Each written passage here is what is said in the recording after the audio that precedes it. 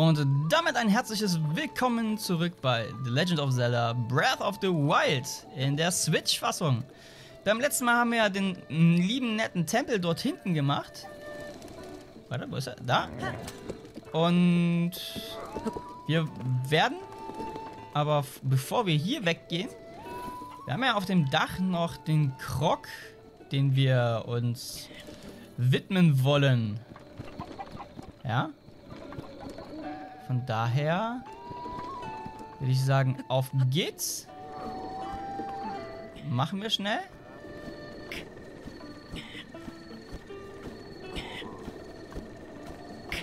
Den ganzen Quatsch hier. So, weil durch diese Krogsamen, die sollen wir ja den Maronus bringen. Ja, Link. Und der Maronus, der gibt uns sogar was dafür, dass wir ihm die Krogsamen bringen. Also von daher passt das Ganze.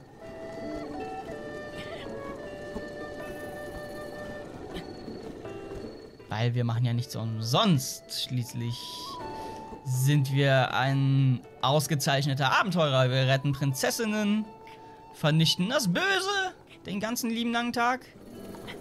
Und ich finde, da können wir uns auch mal irgendwo erlauben, ein bisschen was dafür zu bekommen, oder? Untersuchen wir doch mal.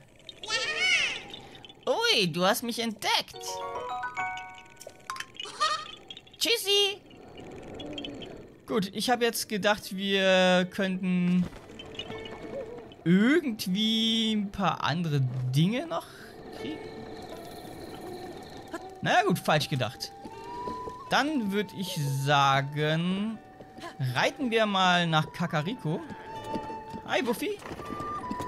Und schauen, was in Kakariko auf uns wartet. Auf jeden Fall haben wir jetzt hier unseren Flunz. Ja, ist ja gut. Entschuldigung.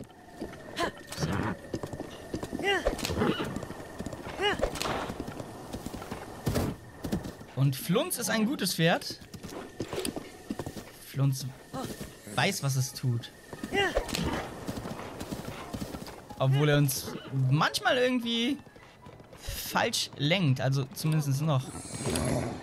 Aber die Zuneigung des Pferdes so, soll wohl auch steigern. Also soll sich steigern, wenn man die Pferde gut behandelt. Und nicht so wie ich. Denn, wie man sieht, ich habe ihn jetzt hier nicht äußerst gut behandelt. Okay. Ein Reisen. Oh, was steht denn da vorne?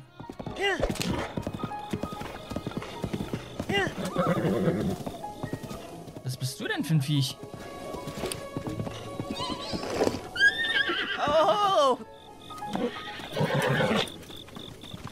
Warum hast du so Angst? Oh! Du! Du kannst mich sehen? Ja, natürlich sehe ich dich. Toll, toll. Oh, es ist schon 100 Jahre her, dass mich jemand gesehen hat. Ich bin Maronus. Ich brauche unbedingt Hilfe, aber niemand konnte mich sehen. Bitte, bitte hör dir meine Geschichte an. Meine Lieblingsrasseln. Die Monster haben sie versteckt. Böse Monster. Sie sind hinter den Felsen dort. Und jetzt? Oho, ohne sie kann ich meine Kräfte nicht einsetzen. Oho. Daher bitte ich dich, bitte hole meine Rasseln von ihnen zurück. Ja, gut, dann tun wir das. Wir sind ja gut bei der Sache, ne? Also können da schon irgendwie was ausrichten. Deswegen, was ich weiß, ist besser immer mal von oben attackieren. Obwohl es ist eigentlich Nacht, ne? Da könnte ich auch so das eine oder andere anders machen. Aber es sind halt diese fetten Monsterbosse.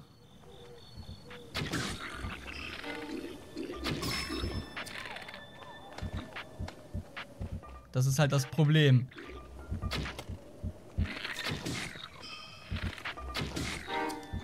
Warte mal, wir nehmen mal den Soldatenbogen. Der hat ein bisschen mehr Power.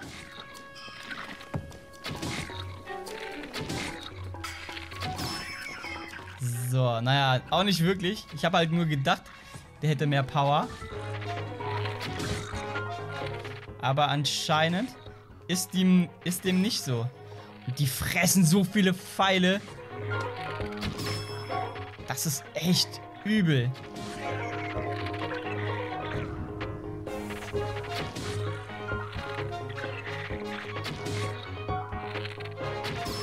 So.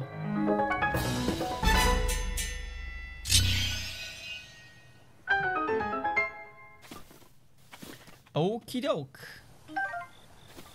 Zum Glück kann man ja einige der Holzpfeile wieder aufsammeln. Zumindest die, die man verschossen hat.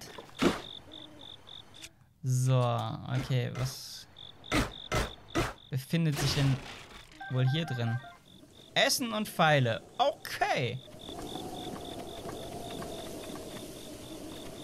Die Lanze brauchen wir nicht.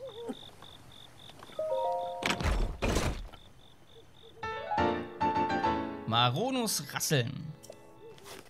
Die haben wir dann. Das ist dann wunderbar. So. Dann bringen wir Maronus seine Rasseln zurück und gucken, was er dazu sagt. Ob er das gut findet? Wir werden es herausfinden.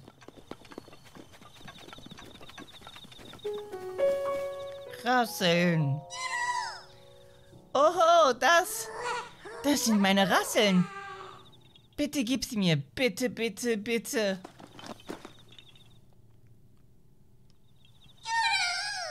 Ich bin so glücklich. Oh.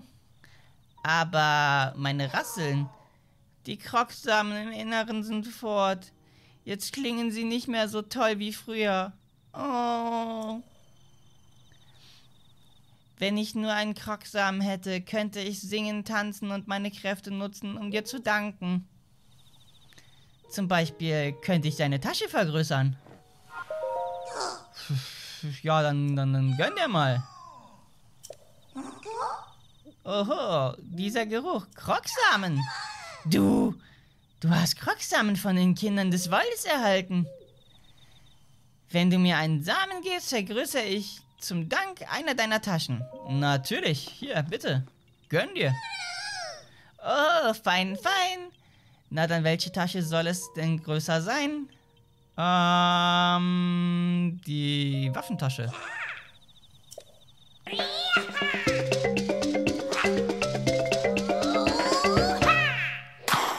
Juhu. So, wir können den halt jetzt so übelst die Waffentasche aufberzen lassen. Was wir auch machen. Oh, nun die Waffentasche ist größer. Oha! Oh, du hast noch mehr Krogsamen. Lass mich deine Tasche vergrößern. Ja, dann gönn dir. Ich nehme diese zwei Krogsamen an. Mach. Oh, toll. Komm schon. Tanz mit. Und los geht's. So, das müssen wir nicht jetzt jedes Mal sehen, wenn er da rumtanzt. So. Und ich glaube, die Taschenvergrößerung wird immer teurer, oder? Oho, sieh nur, deine äh, Waffentasche ist jetzt größer. Oha. Oh, jetzt ist es schon so spät. Ich muss zurück nach Hause, bevor Großvater sich Sorgen macht. Oh. Tut mir leid. Ich muss los.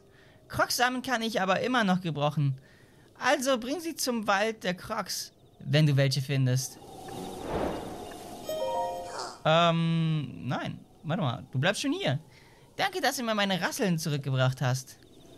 Sobald wir uns verabschiedet haben, kehre ich nach Hause in den Wald der Crocs zurück. Oho, möchtest du mir etwas plaudern? Möchtest du etwas plaudern? Krogsamen. Die Krocksamen sind von den Kindern des Waldes allerdings ziemlich hart. Es wäre wohl unschicklich, weiter darüber zu reden. Was? Oh, du willst immer mit mir plaudern? Nein. Doch, wo ist der Wald der Crocs? Das interessiert mich. Der Wald der Crocs. Der Wald der Crocs, das muss nördlich von hier sein. Großvater hat immer gesagt, wenn du dich verlaufen hast, folge dem Hylia-Fluss nach Norden.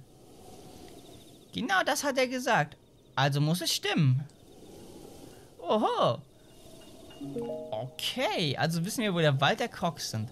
Und ich denke mal, im Wald der Crocs werden wir auch ein bestimmtes Schwert finden.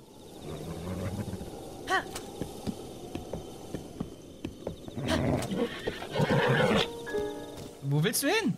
Halt! So, okay. Dann geht es ab nach Kakariko. Ja, ja, Entschuldigung.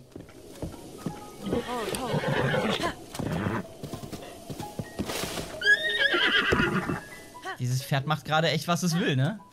Das ist unglaublich. Böser Flunz. So.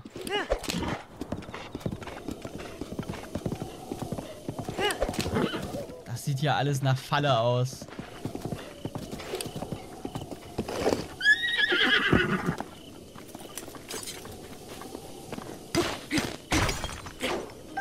Feuerstein nur rausgekriegt. So. Und hallo, Jonas Seib.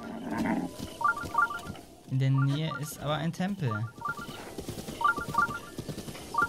Der interessiert uns aber gerade eher weniger. Das hier ist wohl das Dorftor nach Kakariko.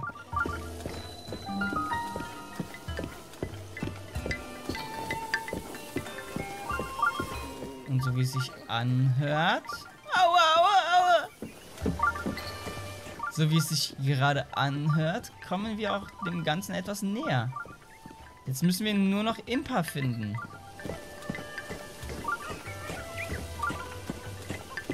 Aber bevor wir das tun... Da vorne ist direkt Impas Haus und ja, die Aufnahmezeit neigt sich gerade auch langsam dem Ende zu. So.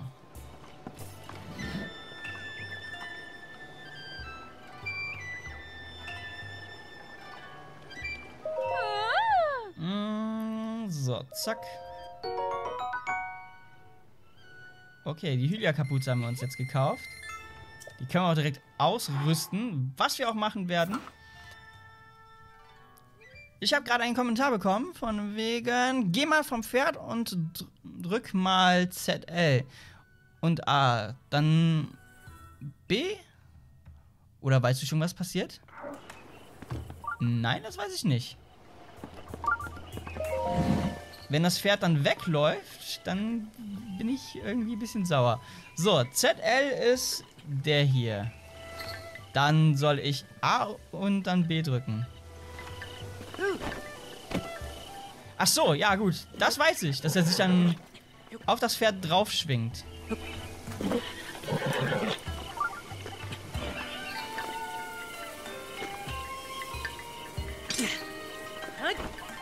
Das meinst du, ja? Das, das weiß ich, dass der das macht. Das ist schon so ein echt nicer Move. Nein, das ist es nicht. Okay. ZL und dann A oder B. Da macht er...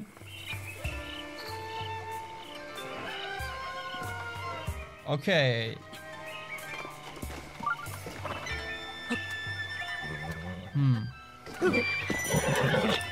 Ach so, du meinst das mit dem Grinden hier. Das hier. Dass du quasi, ähm...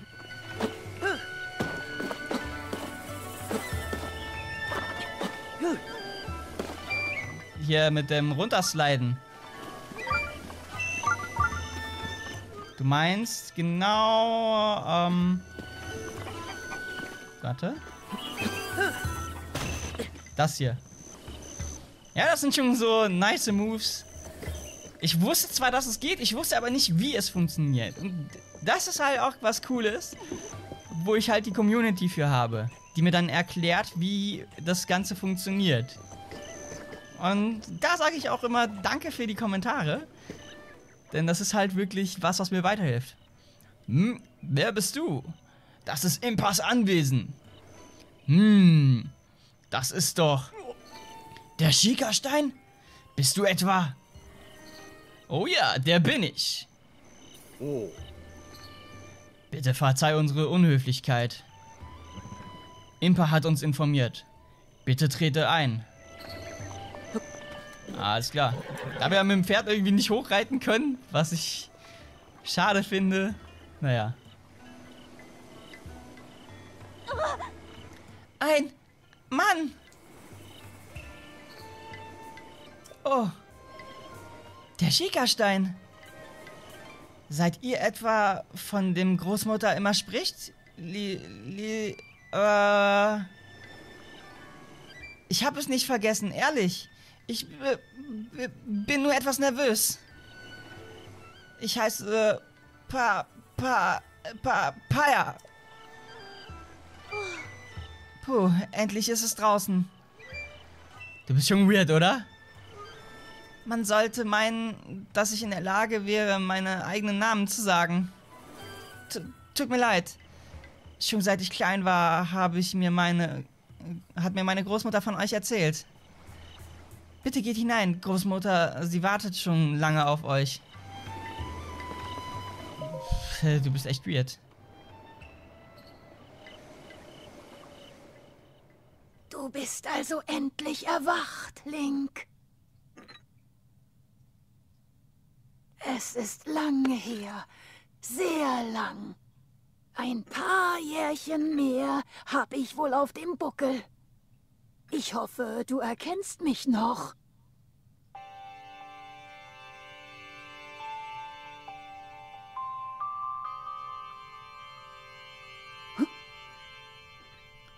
Was ist?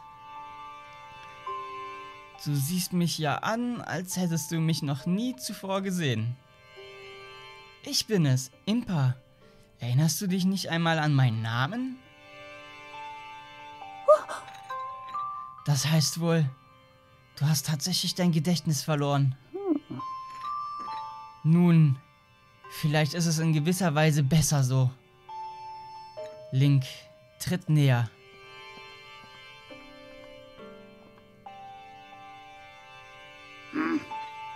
Vor hundert Jahren ja, vor hundert Jahren, als das Königreich Hyrule unterging, du standest an der Schwelle zum Tod. Zeldas letzte Hoffnung war, dich in einen heiligen Schlaf versetzen zu lassen. Sie selbst machte sich auf. Ganz alleine stellte sie sich Ganon entgegen. Prinzessin Zelda hinterließ nur eine Nachricht für dich. Seitdem warte ich ungeduldig hier auf den Tag, an dem ich ihre Nachricht endlich an dich weitergeben kann. Jedoch, wenn ich die letzten Worte der Prinzessin an dich weitergeben soll, dann muss dir eines klar sein. Du musst bereit sein, dafür zu sterben. Doch diese Verantwortung kann ich schlecht jemanden aufbürden, der sein Gedächtnis verloren hat. Wenn du entschlossen bist, die Worte der Prinzessin zu hören, komm noch einmal zu mir. Gut, aber das werden wir dann im nächsten Part sehen von The Legend of Zelda Breath of the Wild. Freunde, wenn euch der Part gefallen hat oder wenn ihr so gute Tipps habt wie der Jonas, dann lasst es mich bitte wissen, denn nur so kann ich auch wirklich das Let's Play weiterführen. Beziehungsweise, was heißt, nur so kann ich es weiterführen. Es ist einfacher weiterzuführen und in dem Sinne würde ich sagen, wir missbrauchen jetzt Impas Bett, legen uns eine Runde hin, schlafen, macht es gut, haut rein. Und ein Daumen nach oben ist immer ganz fein. Deswegen haut in die Tasten, drückt den Like-Button, bis er explodiert und bis dann. Ciao!